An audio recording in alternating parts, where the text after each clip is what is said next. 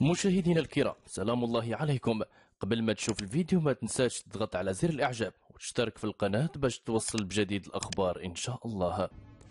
أكدت صحيفة لاراتون الإسبانية المعطيات التي نشرناها قبل نحو أسبوعين والمتعلقة بعزم الولايات المتحدة الأمريكية إنشاء قاعدة عسكرية لها بالصحراء المغربية.